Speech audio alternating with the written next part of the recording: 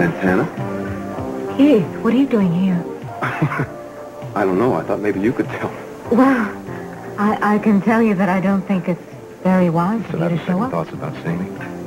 Yes, yes. I, I, actually, I do. Keith, I don't want to talk about it now. I'm meeting Cruz for dinner. He could he could be here any minute. I think he wanted to see me tonight. That's why I was surprised to get your message. What message? At my office, I you said you wanted to meet me here. No, I, I, I didn't leave you any message. Hello, Gina. What are you doing here? Well, I thought I might find you here. Me? Why? I figured you were bringing Brandon over to visit with Rosa. So you followed me here? Well, yes. What for? It's probably a silly idea.